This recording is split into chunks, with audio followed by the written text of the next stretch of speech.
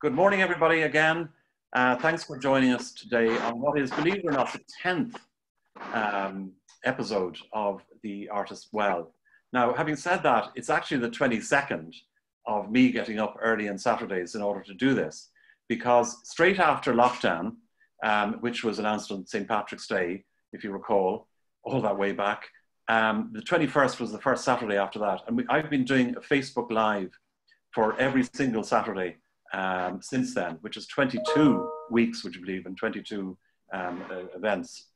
Um, and I'm delighted the way the whole thing has developed because we had no intention of doing this. It was, it was literally just a way of, you know, keeping in touch with people um, during lockdown, um, talking to students who, who were due to do my work or my, my course, um, and you know, allowing them keep up with some tips and techniques and so on, and practice during during the isolation. So that kind of developed after about 12 weeks. I thought, right, we've come to a natural ending in that. And I think phase two had kicked in at that point. Um, and I was looking for feedback, and I got this sort of feeling that people loved the idea of uh, looking at other people's workspace and, and seeing their work practice, understanding how they work. Because I think because artists tend to work in isolation already, uh, and that commonly was heard back time and time again from people that they said, well, actually, it doesn't make any difference to me. I'm here alone, you know, uh, in, in, in splendid isolation anyway. But the reality was that people still need to keep in touch. Um, uh, and they do love to see what other people are doing, um, how they're doing it, uh, and all of that sort of thing. So the, the Artist Well uh, was created as a resource, a form of inspiration for other artists so that we can visit a particular artist well, or indeed anybody who's in, in, involved in the arts, and pick up ideas, you know, get a bit of inspiration, find out how they, you know, save space in their studio. Uh, all of these sort of things are of interest to other artists, I think you'd agree. Um, but there's a lot, there's a big bad world out there as well, you know, that is not just in studios, and it's out in the real world of commerce. And I'm delighted today that uh, that's one direction that we're going in today, which is to, to view a gallery, all right? To see how a gallery works, uh, to view an exhibition, and to ask questions about what it's like to be a gallery owner. And I'm thrilled to have Olivier Cornet of the Olivier Cornet Gallery in Dublin as our special guest today. So Olivier, how are you? You, come in, you can come in now. I'm good. I hope you can hear me. I'm actually standing just outside the gallery, the gallery yeah. building on 3 Great Denmark Street. Yes. I just wanted, just for people who've never come to us, just to show you where we are. Uh, in the distance, you can see this neo-Gothic church, which is the church at the top of Parnell Square. And we are on Great Denmark Street that starts as uh, Gardiner Row. So the street changes names, so don't get confused about that. But it changes names as you reach Barry's Hotel, and I think you can see the sign just in front of you. And opposite us is Belvedere Hotel. And next to us is Belvedere House, followed by Belvedere College. Hmm. The building where my gallery is belongs to um, Belvedere College. So Belvedere College is my landlord. So um, I'll, I'll walk into the gallery. Just give me time to close the door. I'm on my own at the moment. Um, yep. So just give me time. I just have to go down. Yes. Move the fire, fire extinguisher. So this is the um, really the hall, the entrance hall to the gallery. Um, I'm sharing this space with other tenants. Um, so the gallery is on the base, um, uh, on the ground floor, and um, in the building we have other people. We have one of my artists is in the building as well, Kelly Ratchford. She has a studio. We have the very famous um, theater production company, um, Fishamble we have an art psychotherapist, we have a journalist, we have a playwright, we have the Irish fashion designer Natalie B. Coleman here as well. So the, the building is full of um, creative people, just to put, it, to put it that way. I was the first tenant to move in here, so I was lucky enough to be able to actually use the entrance hall and uh, you can actually see already uh, works of art and um, different bits and pieces. Um, here, for instance, um, the first time one of my artists got a review in the famous Irish Arts Review magazine, that was Owen McLaughlin for his 2015 show, uh, diaspora. And again, there's a few works of art already. Some of you might recognize the character uh, featured or depicted in that painting, and we can go back to it later if you haven't guessed. Um, just to give you a clue, that's from the film or inspired from the film Babette's Feast.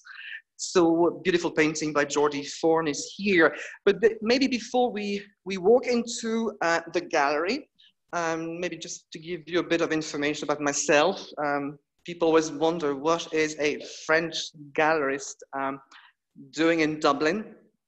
And um, when I came to Ireland in the late 80s, um, not to work in the arts uh, originally, I've studied languages. I'm a linguist um, by training, and I came to Ireland in 1988. Um, that's me there, to work as, as a translator. And um, first in the IT industry, really, technical translations, and um, stayed in Ireland for three years. And then at the time, the French military service was still compulsory. So I had to leave Ireland and I was sent to, to Malawi um, in Africa to head the French Cultural Center of Lilongwe, the capital city of the country. And my job at the center was to teach French, but also to organize arts exhibitions. Mm-hmm. So that's really how I got into the arts yeah. uh, initially came back to Dublin uh, in sort of in the mid 90s, resumed my career as a translator, but really, I really, really wanted to work in the arts. So what I did was I applied for a weekend job in a gallery in Enniskerry, the Metatron Gallery with the great Monica Morin, learned about Irish arts, and to cut a long story short, started organizing art exhibitions in various places in Dublin, and Dalkey Castle, Film Bay, Smoke Alley Theatre, and then in 2012, at the peak of the recession, decided to open my first gallery, which I did hmm. in Temple Bar, the famous wooden building. And I was there for a couple of years. Then I moved to this area of Dublin simply because I felt that Temple Bar was not really the cultural sort of um, center that it was supposed to become. And I came to this area of Dublin, Dublin Inner City, uh, the Parnell Square, because it's supposed to become the new cultural quarter of Dublin. So initially I moved to a place called 5 Cavendish Row, uh, lost my gallery because the, uh, the building was sold. And then Belvedere College heard about my plight and offered me uh, this space here um, at 3 Great Denmark Street, uh, where I am now. It's an old Georgian building which was recently uh, refurbished. And so really the gallery is on on the, on, on the ground floor. Now this is a normal entrance to the gallery, but before, be, because of COVID-19, and we reopened in June 8, we are asking people to walk into the gallery through our browse area, which is also our storage area, so that they can exit through the other door. And, and sorry, can I interrupt you there? Uh, sure. There for a second. Um, Olivia, do, do, do, can people just walk in off the street or do they have to make a, an appointment? Not at the moment. Uh, at the moment, we prefer appointments. Um, the main thing, and I've been doing that since early June, we've been asking people to wear a mask, and that has worked quite well. Now, as you know, masks are absolutely compulsory everywhere, but we were the first, one of the first sort of galleries in Dublin to do that, mm. and I'm happy that we did because people felt very comfortable or have been feeling very comfortable and safe in the gallery. So at the moment, it's wear a mask and preferably make an appointment. Uh, it's just so that you know you can enjoy the experience fully, knowing that you're on your own basically in the gallery, and you don't have to watch your steps. You know, looking at an exhibition can be tricky if you if you want to go back you know look at the previous work and there's somebody looking at it already. So for me uh, to kind of uh, ensure a, a, great experience in the gallery that's the only way you know. So when you come to the gallery at the moment if you've made an appointment there's only me basically and possibly one of my interns or volunteers uh, we're open every day except on mondays so but yeah appointments are preferable and when i say appointments all you have to do is just let me know texting phoning or emailing me, just let me know what time you intend to come. And are you open on Sundays? You say you're closed. Monday? Yes. Yeah, we, I, am open six days a week. That's oh, um, quite unique, actually, about the Olivier Cornet yeah. Gallery. Uh, simply because when I was in a position to buy art many years ago, I enjoy the idea of being able to walk into a gallery on a Sunday afternoon, you know, and uh, um, this is when the gallery can get busy actually at the weekends, you know. So yeah, yeah I'm only so many, on Mondays. Yeah, there's so many other places in the vicinity to visit as well. You've got the Writers yes. Museum. The yes, but there's another commercial gallery, uh, mm-hmm. the great John Daly with the Hillsborough Gallery yep. great, great contemporary art gallery. But we also have, obviously, um, and I have to get the name right. They're very. Uh, uh, it's uh, Dublin City Gallery, the Hugh Lane. The Hugh Lane, um, yes, brilliant, yes, well brilliant um, museum, really. Yeah. Um, and then we have obviously um, the, the the James Joyce Center, and I'll talk about that. I collaborate with the James Joyce Center every year for our Bloomsday exhibition, thematic exhibition in June every year. Um, you have the Dublin Writers Centre. I mean, you have a lot of different people. Poetry Ireland is, is nearby. So yeah, it's, it's a great area. And, and again, it is to become the new sort of cultural quarter of Dublin. So hopefully I'm in the right area. Very good.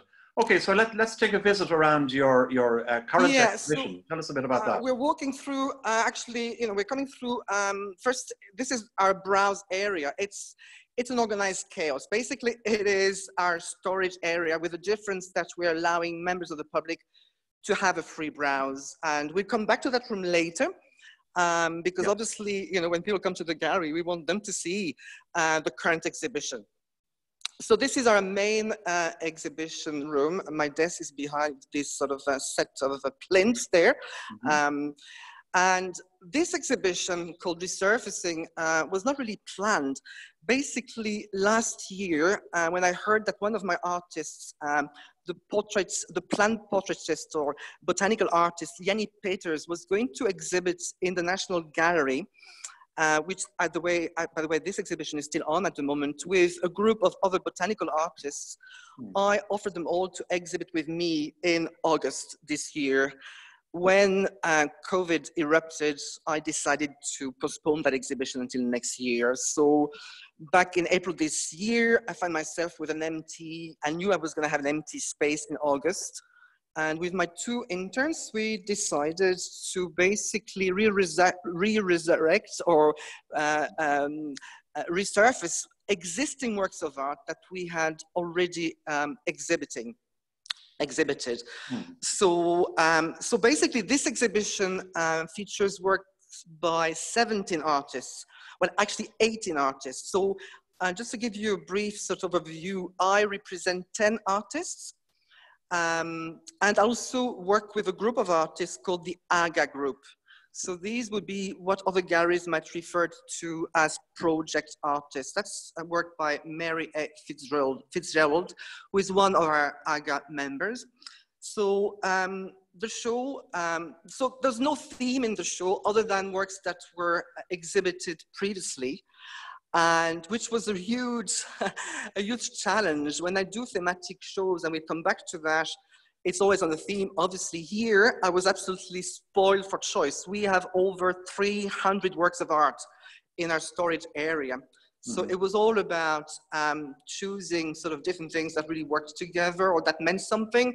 This is a work by Kelly Ratchford from our exhibition last year called Cycling Through the Rages. Uh, Kelly is a cyclist and she co-curated the show with me and the show was all about the challenges um, that cyclists have to face in Dublin. So it was a beautiful exhibition which also celebrated the joys of cycling. So this is Kelly Ratchford here. Um, now we have an, a painting here by one of my represented artists. Kelly is also represented, I should have said. This is work by Claire Halpin. And this work was recently exhibited in the um, Highlanes Gallery in Drogheda. Um, and that's actually important information for artists out there. Um, um, the gallery has launched, um, it's going to be an annual event. It's an open submission event where galleries can apply to exhibit. And Claire was got kind of lucky this year. She was shortlisted. And this is a very interesting painting uh, Claire started, during COVID, uh, Claire started documented places of culture that have been used as, as temporary mortuaries. And we know that in Ireland, IMA, the Irish Museum of Modern Arts, was considered. Here, it's that place uh, in Spain, the um, Palacio de Hielo, and um, beautiful uh, work. Then we have different works. This is work by one of my AGA artists, Vicky Smith. And this is a, a painting from a show called Between, somewhere between perception and reality, uh, which I presented at the Vue Art Fair. So for those who are not familiar with the sort of art fair scene in Ireland, there are two art fairs every year. Uh, unfortunately, this one, the Vue Art Fair that takes place at the RHA, uh, the Royal Hibernian Academy, has been cancelled this year. But what my gallery does and I've been invited to participate in that art fair since I opened my first gallery in 2012. What I've been doing, and I'm the only one gallery to do it, is to present a themed art exhibition. Yeah. So I will come back to that when we do the presentation uh, later. Um, beautiful work by, by Hugh Cummins. And again, I'll come back to Hugh's work later. And this one is... We're, we're going to watch a few stills, aren't we? A few still images. Exactly, and this yeah. piece, which is beautiful, it was actually exhibited, I believe, in in a, a, a two-person exhibition that that uh, Hugh had with another AGA member, Sheila Norton. And this is in uh, Applewood and Wenge, if I'm correct. Um, you can correct me later if I got this wrong. um, beautiful work by Miriam McConnon. Again, that was part of the show between perception and reality, and it's called Medicine Bottles. Um, really, the idea of the show for me was sort of uh, a few years ago when you know everybody kept talking about fake news, uh, perception, and reality, and this, these are concepts I'm very interested in, and uh, um, these were the two works that that um, uh, Miriam presented. Mm-hmm. Uh, moving on to, I'm sorry for the reflection there. This is a watercolor and we talk about watercolors as well because I think I'll maybe debunk the myth, the myth that people, sometimes artists have about galleries not wanting to exhibit watercolors. But anyway, and this is a watercolor by, by Owen McLaughlin. Um, um, this is a series um, that Owen started for the, the annual, um, that was two years ago, last year, the Bloomsday exhibition that I have every year, which is also a thematic um, exhibition and last year I decided to go for the theme of food, food references in Ulysses. And the show was called um, Olives, Oysters, and Oranges, based on a PhD uh, research paper by Dr. Flicka Small. And uh, Owen went for this sort of the, the, the, spud, the Irish, the potato, which is a talisman in, in Ulysses. And uh, I think the work has evolved since then. Um, but it's beautiful uh, work in, in watercolor. And moving on, this is a painting that I will come back to later. This is a work by David Fox, uh, which was in his solo sh show last year, uh, a show called, let me get this right, An Altered Land. And it's just that when we looked at that painting this time, it took a very different meaning. You know, uh, the idea of children not being able to play, possibly, there's something quite ominous in the current context of, of COVID, I think. Um, as you can notice, the, hang, the painting is hanging very low, uh, which is something that museums tend to do these days. Here I did it because I really want to invite the viewer to actually walk into the painting. And the sky is just as important as, as the rest of the painting, and that's one way of doing it. Um, obviously, as a gallerist, I pay a lot of attention to the way I hang a show. It's a very important thing um, based on the fact that it's very difficult these days to keep people's uh, attention span. Mm. You know, hmm. people walk into a gallery for different reasons. They might be there for five minutes. You really want to grab their attention. Olivier, so, yes. Just, just, as a matter of interest, because I, I find that point very, very interesting. And, and I actually found myself drawn to that because of exactly where you hung it, the fact that it's so low.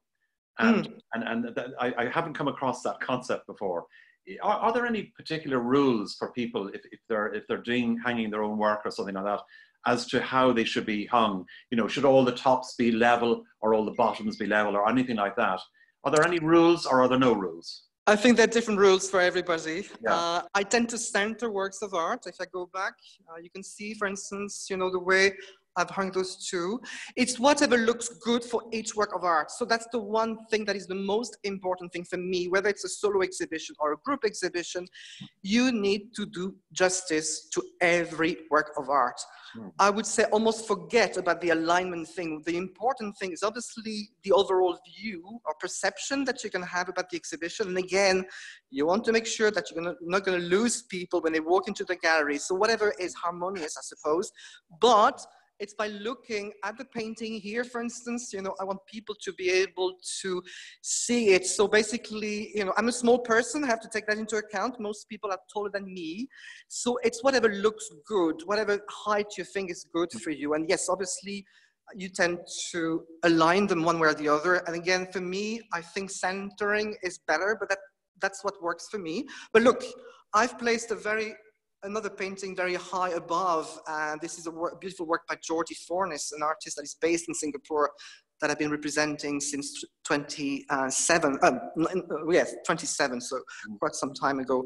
Um, so um, yeah, um, left, bottom or center, whatever, but the height is important. What is yeah. it that you want the viewer to see? Here in this painting, you know, I want people to be, to imagine them going towards those swings, you know, hmm. and mm. it's such a beautiful sky that um, if I had sort of hung, hung it the way that you would, you could have expected, it would be, have been too high, I yeah. think, you know, so, yeah, uh, uh, nothing is left for random. Everything is done in, in a certain mm. way. Um, um, this is another beautiful work uh, by um, Yanny Petters. This is quite special. This, this work is actually part of National Heritage Week. It's an annual event um, that the gallery participates in every year. Mm -hmm. Usually we do it through a talk at the gallery. This year, uh, the whole event is going to be online. So we decided to present a work and Yanny has written a beautiful essay which is available on our website she has revisited um, this painting that she first exhibited as part of Republic, uh, a show I co-curated with Owen McLaughlin back in 2016 for the centenary uh, commemorations of the Easter Rising. Hmm. And at the time, Yanny decided to, I should have said that the area where I am is really um, Harry Clarke's territory, you know, the famous Irish stained glass artist. Yes. He lives in the area, he worked in the area. His studio was on North Frederick Street. He's obviously very well represented in, in the Hugh Lane, and he was also a student in Belvedere College, our next door neighbor and landlord.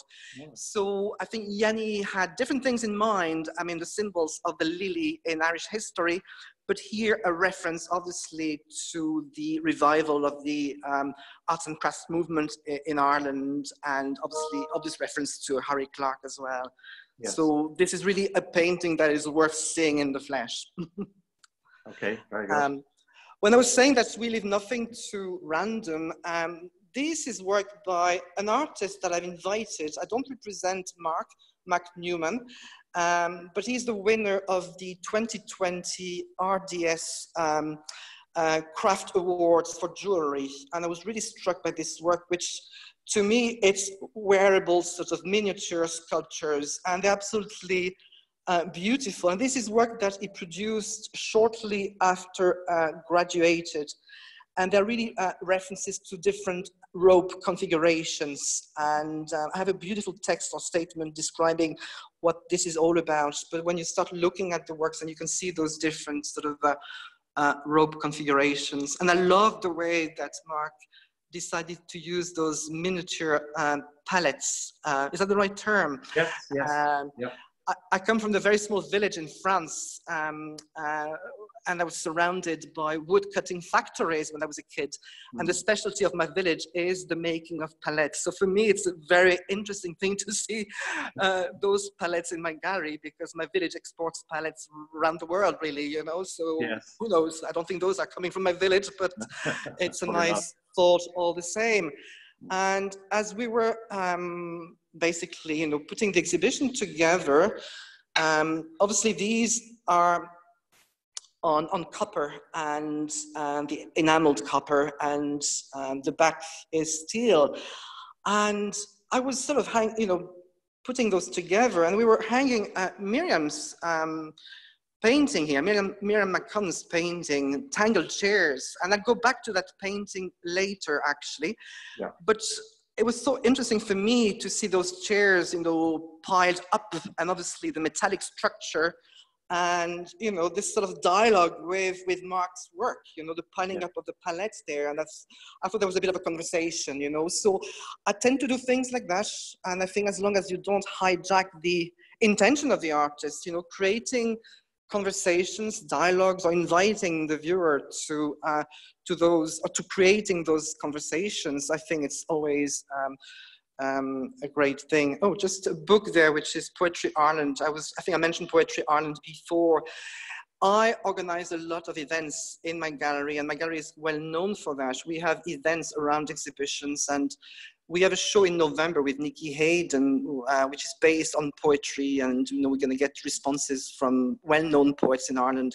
But Poetry Ireland being based in the area, they features featured works uh, works by my artists in some of the um, beautiful um, um, Poetry Ireland reviews. So this is a work by by Kelly Ratchford. Um, I think uh, uh, that, that event, Olivier, would be of interest to Autumn Richardson, who's tuning in with us. Yes. Uh, as she's a poet, and um, I'm sure she'd be very interested in that. That's great. Uh, yes, and I've done quite a lot of events. events. Uh, last year, for actually for David's exhibition, we got uh, for Poetry Ireland Day. Uh, I got 20 different artists to respond to to uh, 20 different poets, sorry, to respond to David's work, and we organized an event at the gallery where the poets actually read their poetry, and it was fantastic, actually. Very um, good. Uh, speaking of poetry, another artist, um, Susanna Vavra, she's part of our AGA group, and she's a poet as well. Uh, we did a show this year in the midst of COVID back in May, and I'll come back to that. I think it was quite interesting mm-hmm. what we did, uh, Susanna and myself, but I'll, I'll come back to that. Uh, interestingly enough, uh, Susanna calls that type of work a printing, a combination between a painting and a print. She uses transfer prints in the work and also uh, pattern fabrics. Uh, beautiful work. She's some fabulous work, yeah. Sheila Norton, and I'll come back to Sheila's work um, to talk about watercolor later.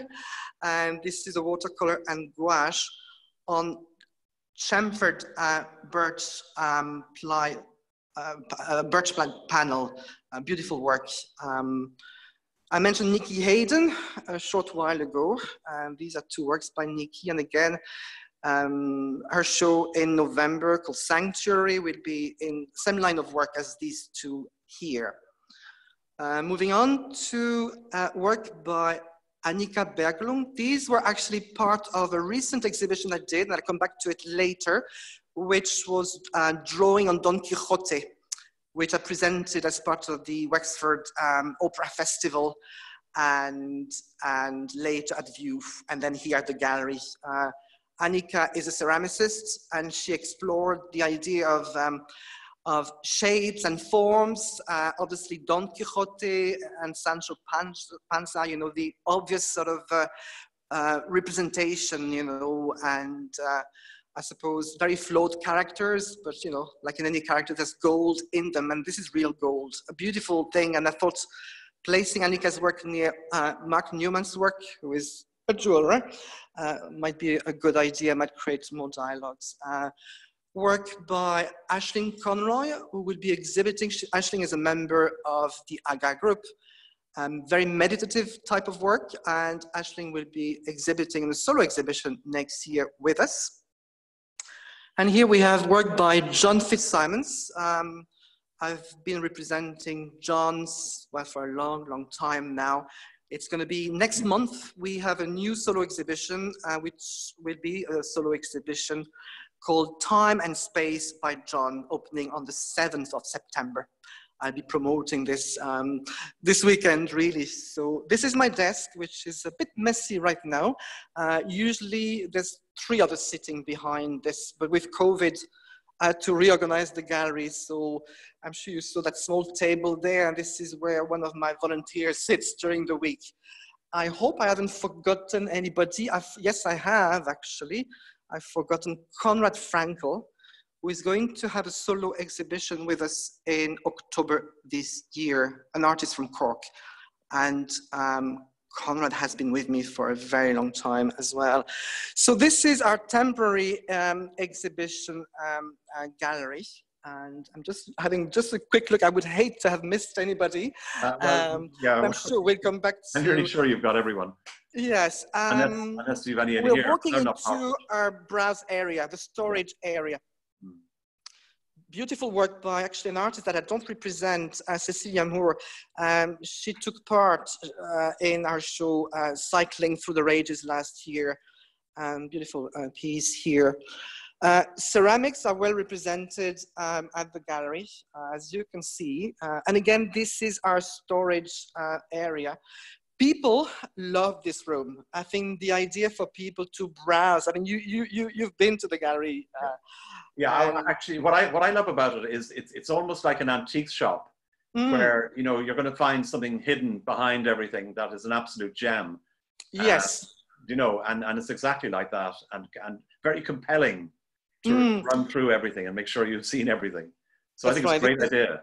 Yeah, this is an interesting work by Hugh Cummins. I did a show a few years ago called Two Degrees Celsius.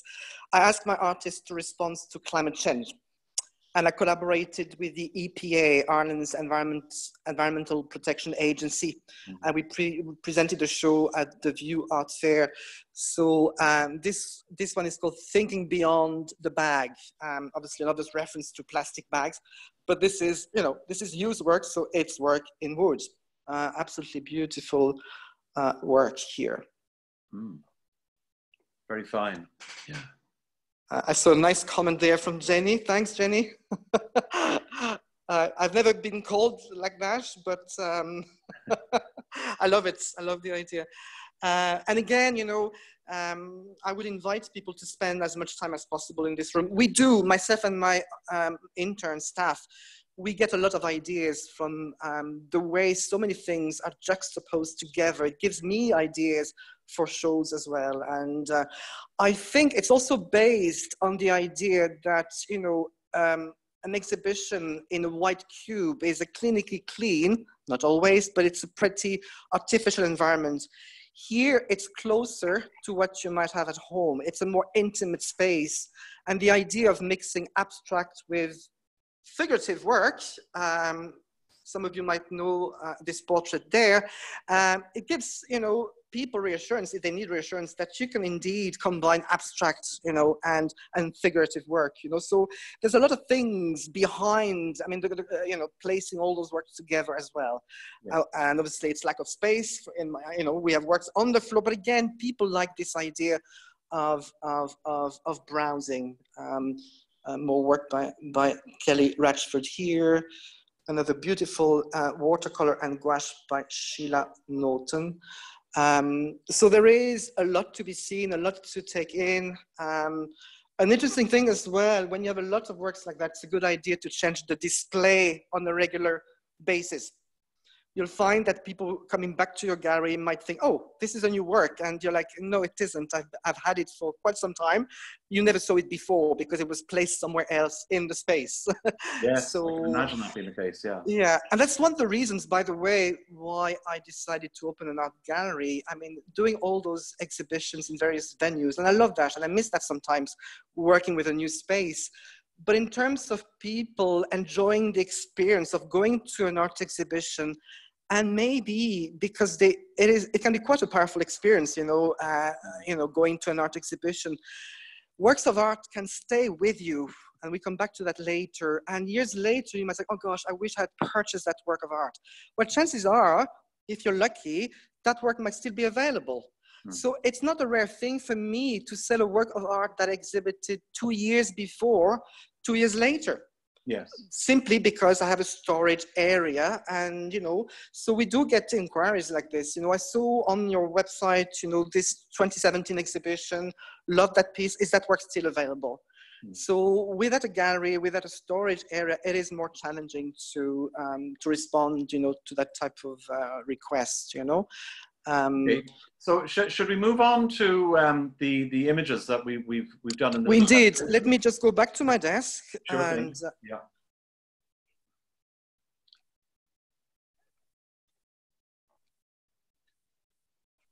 There's no doubt there's plenty to see there. That's for sure. And there's one, one thing that I know a lot of artists will, will be uh, wondering, and that is how does one get into a gallery?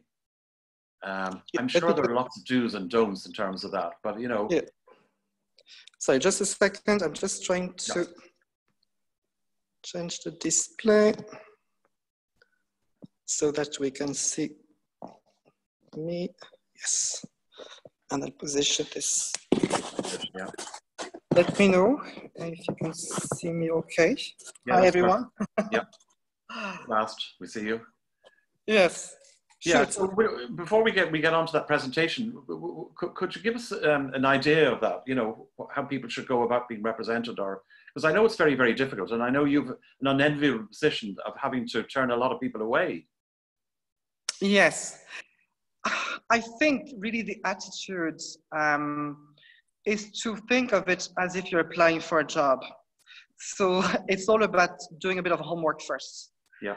Um, do your homework. Which galleries would you like to be represented by and why? And what does the gallery stand for? What type of art do they sell? What type of artists do they represent? Mm. Um, artists always think that they're a good fit uh, for a gallery, and that's how they present themselves. What do you mean by that?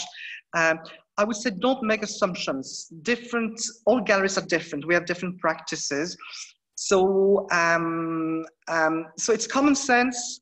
Now, in my case, um, since I opened my gallery in 2012, I was absolutely inundated with requests, so much so, and I always respond, by the way.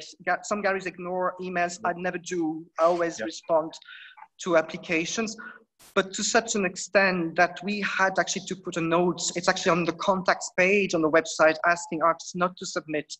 My way of doing it nowadays and most galleries actually are very active. You know we all uh, you know through social media we know what other artists are up to. We do keep an eye. So it's not like we are passive and waiting for artists to contact us. So we just don't talk about it. That's number one. But uh, number two is the way i do it is my gallery is an institutional member of vai visual artists uh, Ireland, which is the Association of Artists in Ireland. I would recommend any working artist to become a member of the association. It's for your own interest.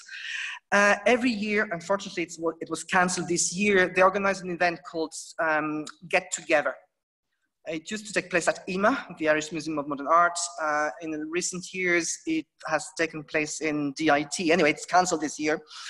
And one of there's many events uh, taking part during that day. It's all about artists meeting each other, meeting curators, gallerists, and lovely interactions. Great work by VAI. And there's one event uh, which is called Speed Curating. Yeah. whereby artists book in advance gallerists, uh, museum curators, and it's basically a conversation which is timed, can be, can be quite daunting the first time, not for the art, not just for the artist, but also for us, uh, whereby it's a conversation where the artist presents their work. Yes. Whether they're looking for gallery representation or not, but it's a good exercise. Mm. Very artificial. It's a five minute. It's like going for an interview, really. But what it does, it, it sort of shows you what kind of questions you're going to get. What what is it that the gallerists uh, expect? And again, every year I would expect people to do their homework. There's no point in coming to me, um, you know, if you if you you know if you think that you know your work is not you know if if I don't represent any kind of work like that in my gallery. So it's all about doing um, um, you know research. You know. Um, um, there, there are rules of engagement with the gallery. Uh, the one thing we absolutely hate uh, in gallerists, but again, when you think about it, it's common sense. Never, never approach a gallerist at an opening. Okay, exhibition oh. opening, it's a no-go. We are so busy, so stressed. Yes. Uh, our job is to welcome everybody, to sell, to promote the artist's work, be very discreet. It's great to introduce yourself, but don't start promoting your work. Mm-hmm. And that has happened to me, and that is not. It's a it's a no no yeah. go. You know. Uh, yeah. So it's common sense. It's all about common sense. The main advice I would give: make an appointment. Make an appointment in advance. My interns are always surprised. It takes me usually five minutes uh, when somebody walks in the gallery to guess whether he or she or they are artists or not. Mm.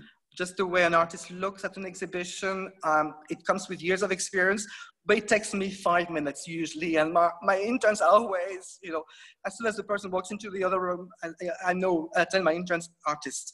Yeah. It's just, you know, so I think just do tell almost straight away that you're an artist. You know, mm. don't, you know, especially in the current climate, we're all struggling, you know, and every time somebody walks into the gallery, we hope that they might buy something or not. You know, yeah, it's not just about buying.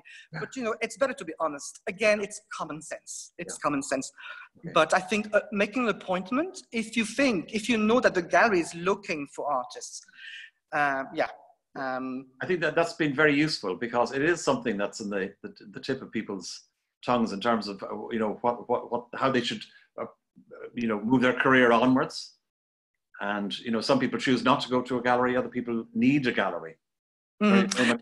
personality i suppose as well. Yes I, I, see i see another question there um, which is an interesting question but maybe we should start the presentation because i think yeah, i'll be answering so. some of those questions we, we uh, definitely come back to that because we, we are going to have a q&a at the end of it. Sure. so let, us go ahead with that and then we, we'll come back.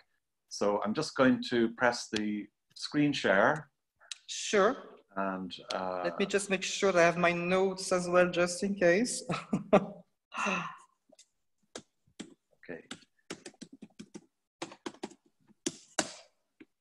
Stop. Do you want to go back to the first one, maybe? Yeah.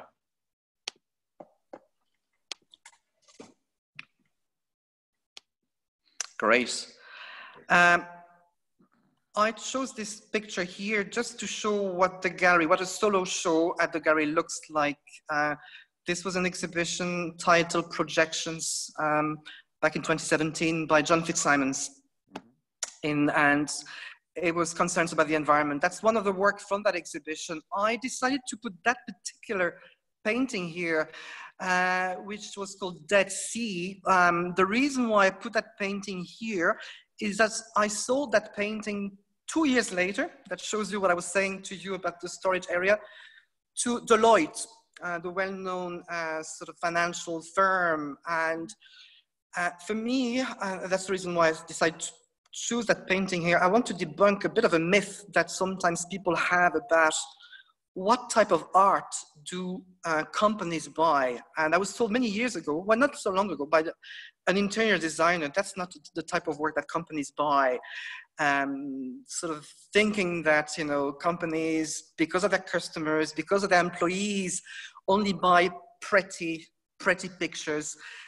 Things have changed a lot, you know, a lot of companies these days, you know, are using works of art, you know, to bring awareness about the environment. That's the case here. So, you know, those assumptions from the past are gone. And this is, we live in a changing world. God knows what's going to happen after COVID, you know, but um, that's the reason why I chose that painting. It's a beautiful painting but you know, the title is Dead Sea, and uh, you can obviously see the silhouette of a whale, what looks like a whale in the very gray sea, you know. And again, this painting is, you know, uh, uh, can be seen in a very public way in a, in a law firm, a financial firm, you know. So, is it a large painting?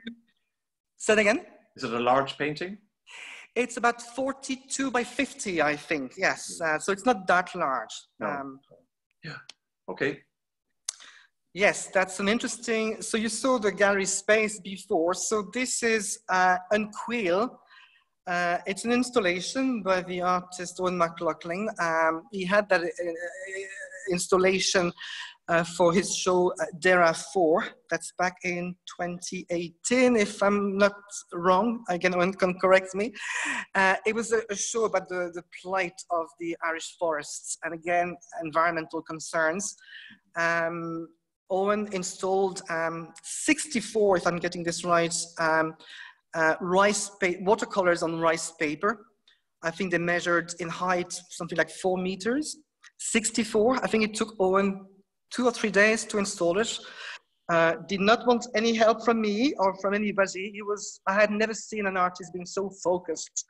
Uh, Owen presented me with a maquette of uh, a few months before that of the installation. So he knew exactly where I was going. It was a beautiful experience for people to walk into the gallery, and walk through that forest. Um, uh, watercolor um, um, in this exhibition, you know, and again, this idea that galleries don't show watercolors, that's actually not true at all. Uh, in fact, there is a return to watercolor. Um, in on ecological case. grounds. Say that again? On, on ecological grounds.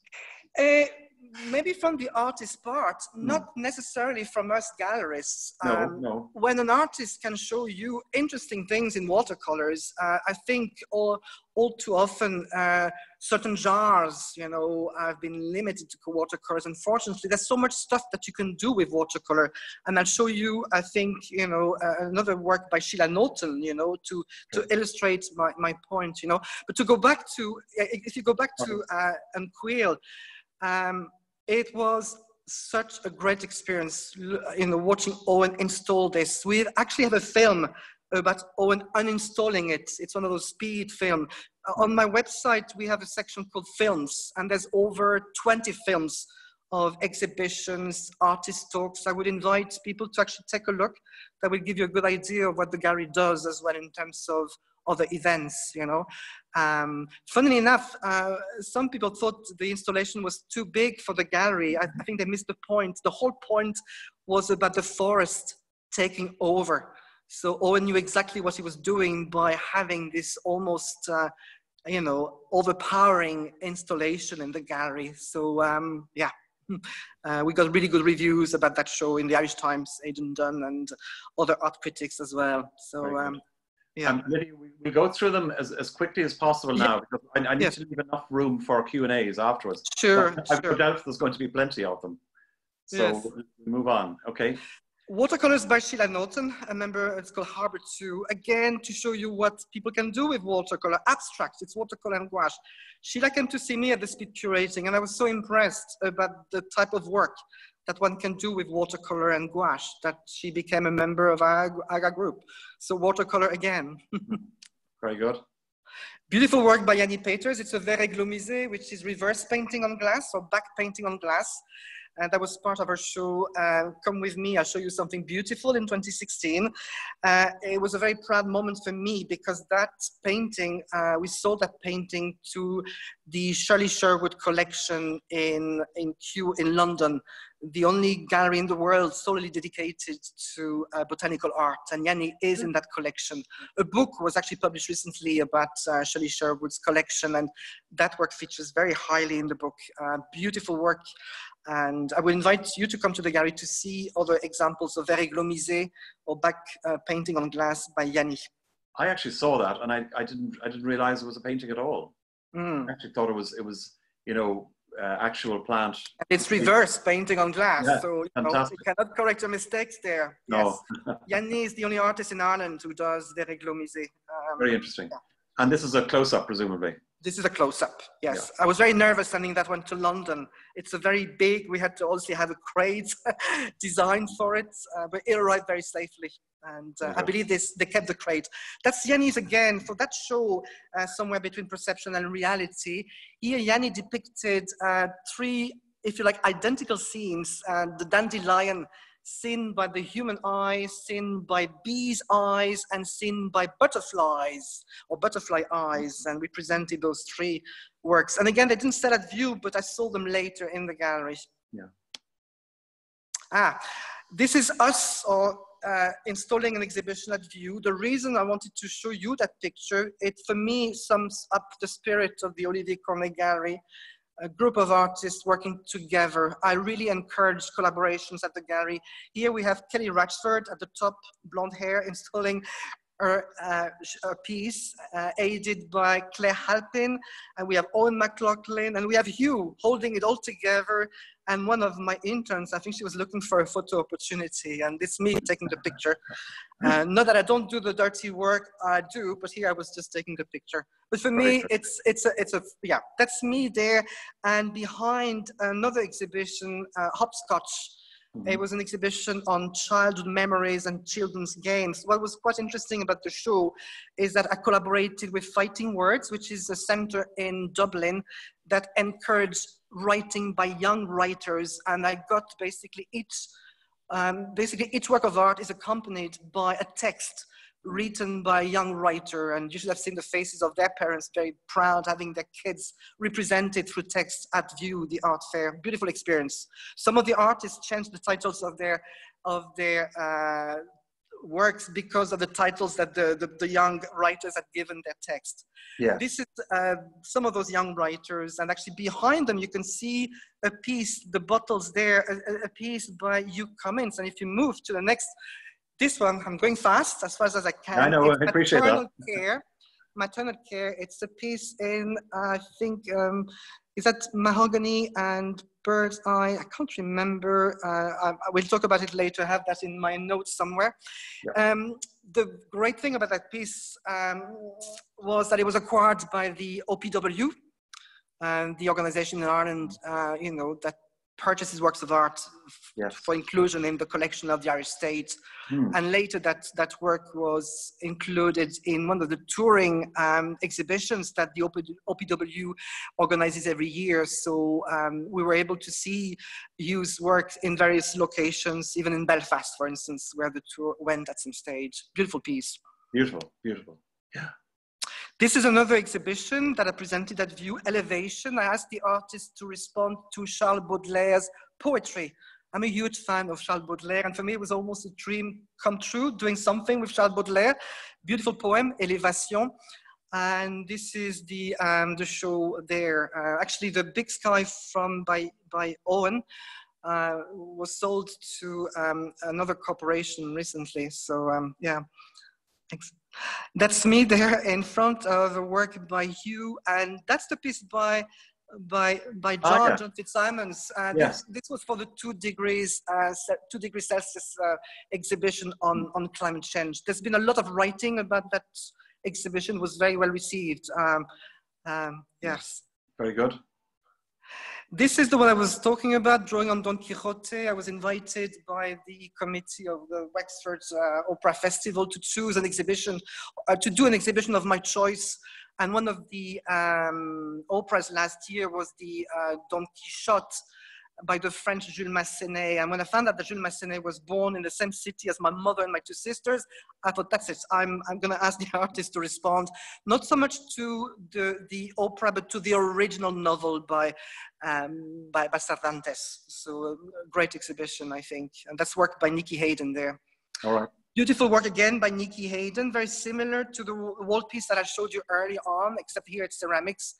Um, beautiful use of gold again in what is porcelain. Mm-hmm. Beautiful, beautiful. Ah, you know, a work of art that you know enters your mind and never leaves it. That's the work by Conrad Frankel um, that I presented as part of another group show, Flanneries in Forests and Fields, and beautiful painting that I very reluctantly sold uh, to the OPW. So it is in the collection of the Irish State, but it's an absolute beauty. Uh, compared to so many other famous artists, uh, Irish artists like Tony O'Malley or, or even David Hockney, uh, you know, and, but it's just, it's a unique, by the way, I've started documenting all the exhibitions um, all the exhibitions, all the works that we've sold to different organizations. It's on the website. It's mm. called uh, Artworks in Public and Corporate Collections. So you can browse, it's in the artist's menu, yeah. and you can basically browse through that and gives you an idea of what it is, the type of work that different corporations um, acquire. Very good, very good. That's useful. Thank you. Beautiful work by Miriam McConnon, um, um, Domestic Resistance, and that was in 2019, last year. Beautiful exhibition on, on um, works um, sort of inspired by women that were in the position of displacement at some stage. So Miriam interviewed a group of refugee women or women who had experienced, you know, asylum seeking and things like that, asking them to select works of that meant something at some stage. And this um, painting depicts uh, a banknote, a Syrian banknote, a very beautiful exhibition, which was very successful last year, Domestic Resistance. By the way, all the exhibitions, you can have a look at them. We have archives in the exhibitions page, so you can go back in town, in time, sorry, and have a look at various exhibitions that we organized in the past. Very good. Another beautiful uh, painting, that's uh, Counterpoint by Jordi Fornies. A Spanish artist who used to live in Ireland um, that I've been representing for a long, long time. He's based in Singapore. Jordi has a PhD in compound chemistry, so a very interesting artist. Is able to mix things that nobody can. He, has, he also has a very strong interest in music and has been studying about, you know, music and visual arts, painting, and uh, uh, he's a, he, he, composes music as well. And uh, this is that painting, I could have sold it 15 times. Everybody wanted to buy it. It did go to a good home in the end. Can you recall what, what it was titled? Counterpoint. It actually the title of the exhibition. Maybe that's the reason oh, why yeah, it yeah. sold so quickly. Yeah, no, it had the title of the actual mm-hmm. exhibition. Uh, we have a catalog about this exhibition in the gallery, so yeah. people are more than welcome to come and have a look. Ah, interesting. Susanna Vavra and her solo show uh, Sitzfleisch, which I was going to cancel. It was supposed to take place in May. And with Susanna, we decided to basically do it online. So to cut a long story short, uh, Susanna and myself did a lot of research. Uh, we created a virtual space. We now have on the website a virtual space where people can walk into a virtual gallery and we did that with Susanna, with her, with her show. And uh, Susanna was absolutely great, helping me to create that uh, virtual exhibition. And I'm now using that virtual. So every physical exhibition in the gallery has a kind of equivalent, physical equivalent online in this 3D uh, virtual space. And here, uh, Susanna and myself went, we went streaming. Um, we went streaming on Facebook. And we basically we launched the exhibition online. So this is something that i do now. We launch online. I can't have crowds at an opening in the gallery. So if the artist is okay with that not everybody wants to go online. Um, but it was a brilliant experience. All these have been recorded and they're available again in the films and clips uh, page on the website. And it gives you a nice insight into the artist's practice and the way we went about this exhibition uh, at the peak of COVID. Yeah. I think we've already talked about that painting. Mm. I just wanted people to be able to see it. You know, the swing, yeah. beautiful painting. This should go to a good collection, really. yes, agree. Agree. And finally. Yes, finally, the reason why I wanted to have that painting, uh, Miriam, who is based in Cyprus, she's Irish, but she's based in Cyprus, sent me that painting for a 2017 exhibition in Life's Pockets, uh, which was all about the recontextualization of everyday objects. For some reason at the time, uh, we didn't think that painting gelled with the rest of, of with the other paintings, which were more interior paintings, and we we just put it aside. And it was aside in the storage area and when I saw it preparing for this resurfacing exhibition, it made so much sense to me. And it shows that there is a time for every painting, you know, or there's a time for every exhibition. It might not be the right time, it might not be the right painting for the right time, but this is now, I think, the main painting in the show. Yeah. I'm not saying that I dismissed that painting before, but it was not suitable for that exhibition then. And now it makes so much sense to have it. It shows that don't, as an artist, you know, don't despair mm-hmm. if nobody is looking at your work because there's a time for everything. Very good, very good.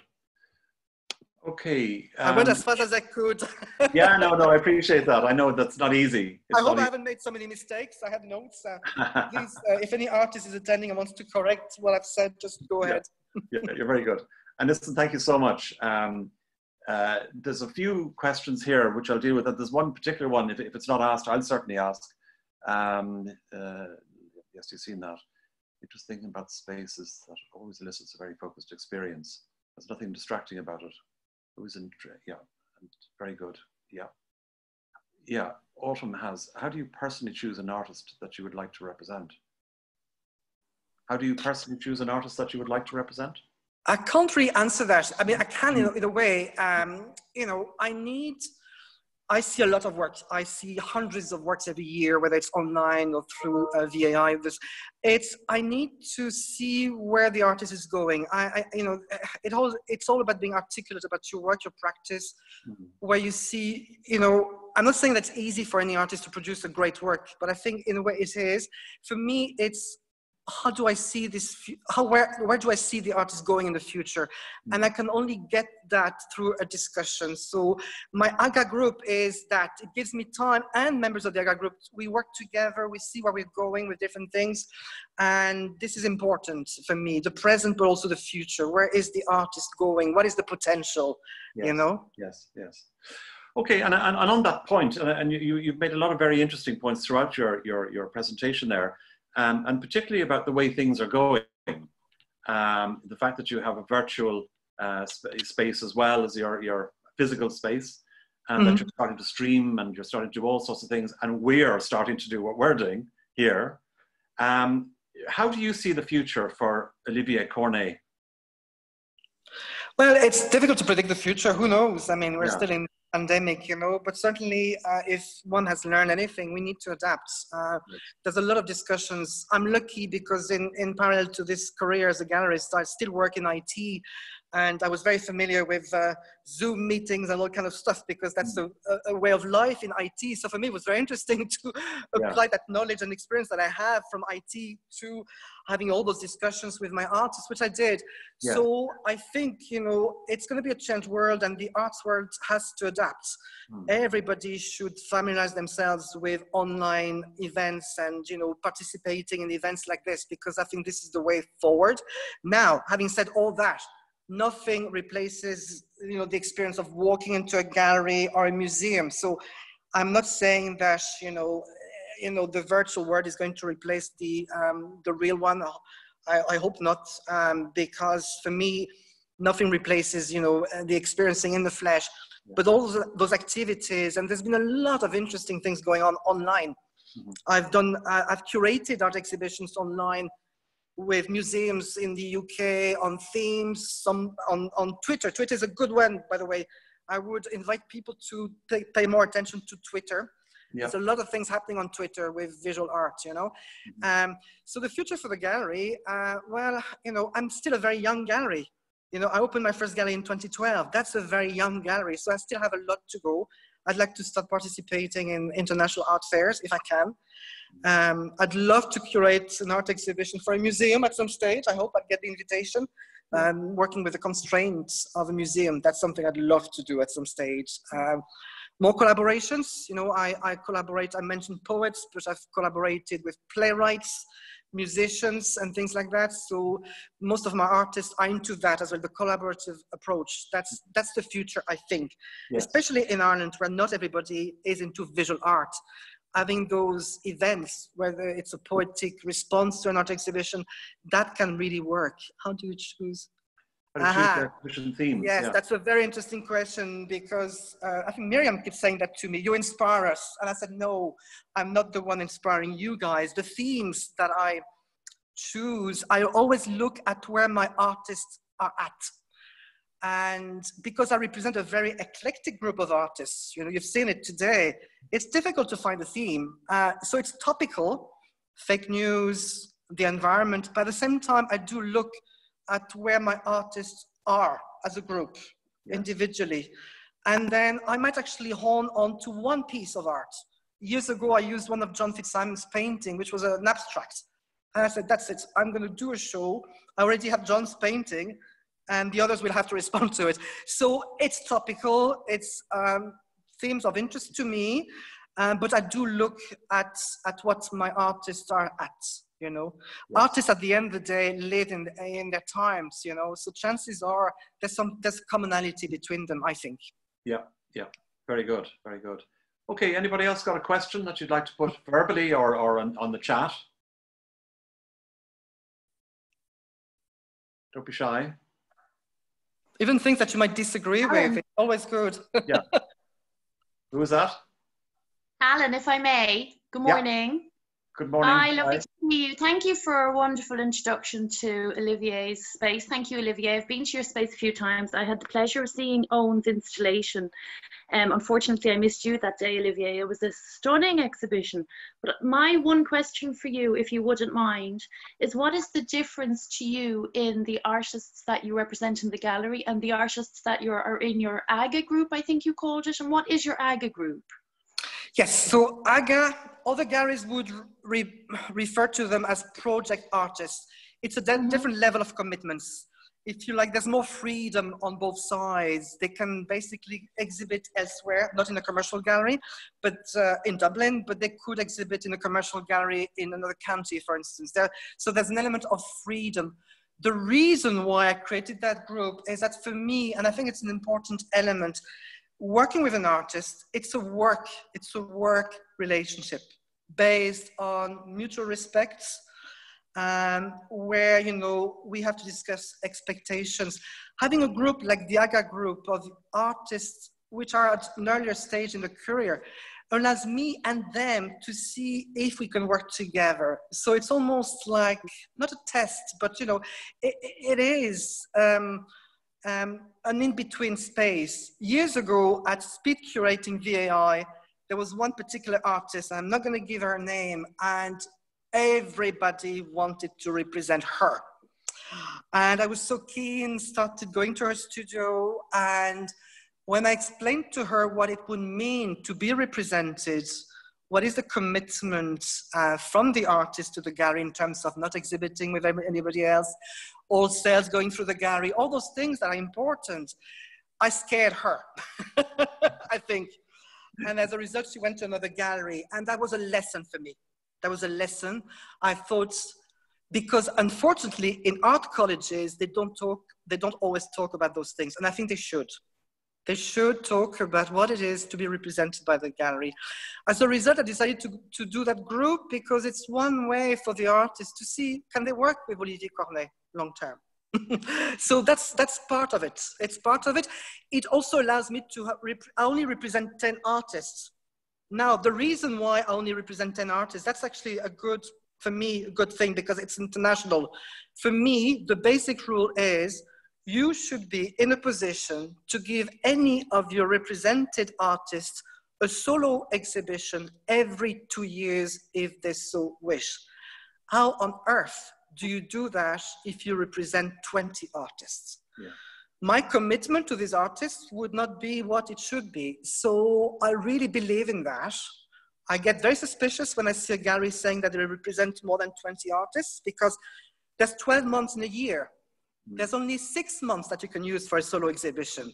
March, April, May, September, October, November. The other months, either people are away, have no money, you're not gonna do a solo show uh, in January, you know, I, I, I, would advise against it.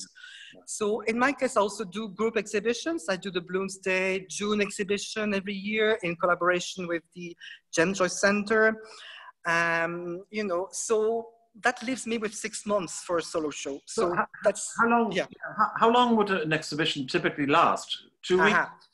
I, I, I, correct you on that, not correct yeah. you, but I'll rephrase that. How long should an exhibition last? Yeah. If you're serious, for me, if you're serious about representing an artist, if you want the press to take notice, hmm. there's a lot of exhibitions in Ireland, you know, very little space, unfortunately. Don't get me started on that for visual art. Yeah. Um, three weeks Three weeks is the minimum. Hmm. Uh, mm. You're not going to ask an artist to dedicate, dedicate 12 months the previous year, or six months, or even three months mm. for a one week exhibition. Mm. Now, yeah. so, uh, you know, yeah. That's a good, uh, que- that's a good question. Uh, yeah. And the, the, the, other interesting thing you said to me is, is that very, very often people won't buy at the opening of an exhibition, but it could be, you know, towards the end of the exhibition or indeed well after it. No, well, you would hope that people buy at, at an opening. Um, no, yeah. no, I was saying uh, they might not buy during the whole exhibition. You know, some work might remain unsold, but you could yeah. sell them later. Um, yeah, it's it's great when work sells at an opening. It's, it gives you and the artist sort of confidence. You know, it's an important yeah. thing, but it doesn't always happen that way. Yeah. Um, but it can. Yes, I mean, you know, there's people might not buy at an opening for whatever reason. It's difficult to see a work of art at an opening. People attending an opening, I always say you should come back. You know, yeah. uh, the opening is more like to celebrate the artist, the start of the exhibition. But uh, at the gallery here, um, not at the moment, obviously, but things can get really, really busy. We do openings on Sunday afternoons. Um, I did. I'm the only gallery to do that in Dublin. And typically, it's on Thursday evenings. I've never believed in that. People don't stay; they move from one exhibition to the next. I prefer to have it on a Sunday afternoon. People can come with their families and their kids. Yeah. Yeah. um, yeah, but uh, yeah, my advice would be, and I know if you're not represented, and I hope you don't have to pay for space. That's the thing, you know. Um, doing a three-week exhibition can be a, an, an, expensive uh, exercise, but yeah, that would be my advice. Mm. Okay, very good. Okay, any other questions before we wrap up for today? No. Okay, if anyone does have any questions, they can always email me, um, and I'll pass them on to Olivier uh, for you. Okay. So Olivier, and uh, do you have anything else to say before before we? Before no, uh, but I'll be happy to. Yeah. I would say you know my gallery has a very strong um, social media presence. I tweet every day, Facebook, Instagram, you name it. So there's a lot of things going on. So um, the website is what it is. I think it's a good website. Uh, but yeah, social media is important these days. I think as an artist, I know there's a lot of artists attending today. You cannot um, you know, myself, I was very reluctant initially because I thought that was going to be so time consuming, but actually I enjoy it. Um, writing social media and promoting the art through social media. It's an important aspect of, of any gallery at this, at this stage. So I invite people to really join those social media platforms if you want to follow a gallery, for instance, you know. Uh, come to the gallery, you know, I open six days a week. And for me, it's always a great experience to see people walking in, whether you buy or not, you know, that's not the, you know, the primary, you know, so um, yeah. Well, listen, that's great. Um, Olivier, you, you, you must be the most proactive gallerist in, in, in town.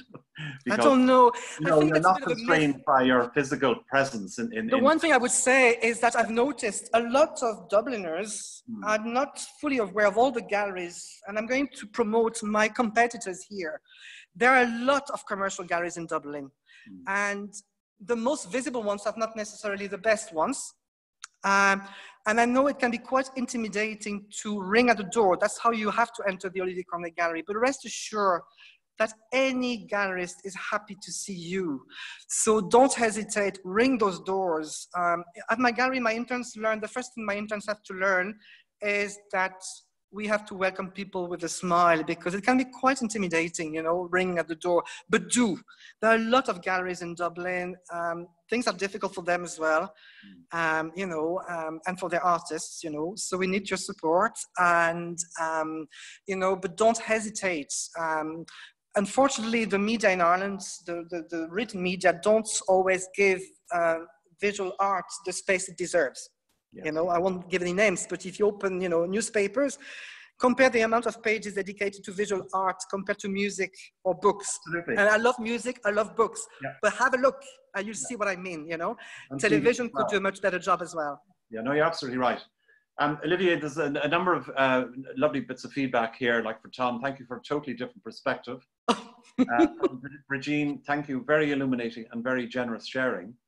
Um, and Jenny, I know that's a, that's a question. I tell you what, I think we're, we're so over time that, that I'm, I'm going to have to forego. I can stay on. Are you are you staying on for a few well, minutes? We're going to stay. We're going to stay on uh, uh, uh, unofficially afterwards, so that we yeah, can. Yeah, I don't mind. Things are quiet right now, yeah. so. yeah, yeah, okay, we'll do that. But but just for the formal point of view, um, on behalf of everybody, I'd like to thank you so much for giving your time. You're a very generous man. You're a very honest man, and uh, it's been so refreshing listening to you. Uh, you, you, you shared so much with us. Um, I, a lot of galleries are like me. Maybe I'm more vocal than the others. so no, I think there are a lot of myths about yeah. gallerists. You know, I know a lot of galleries in Dublin. I can tell you they're all passionate about what they do. So sometimes it's about perception. You know what I was saying about perception and reality? maybe it's the French in you, but you come across completely differently. all right, okay. anyway, listen, thank you so much, Olivier. I'm Thank sure you. all of us will. I stay on anyway. So yeah, um, you do. We beat a path to your door, and to everyone else who's been listening, to to our friends in Canada, Jack, Trish, uh, to Colleen in uh, uh, Texas, to Joy in the Netherlands, I think, um, Miriam in Cyprus. I'm leaving somebody out. Germany, Suzanne. No, is it Suzanne? Suzanne yeah. would be Germany. Yes. Yeah, that's right. Uh, Northern Ireland, Ireland, and it's, it's just it's just wonderful to have so many of you here, and I deeply appreciate it. And thank you so much. Next thank week you. is another week. so who knows what the future is going to bring, uh, but we'll definitely be here 10 o'clock next Saturday. So thank you all for, for, for coming along. And thank you again, Olivier, for, for being so generous with your time. Thank you everyone for attending. Bye now.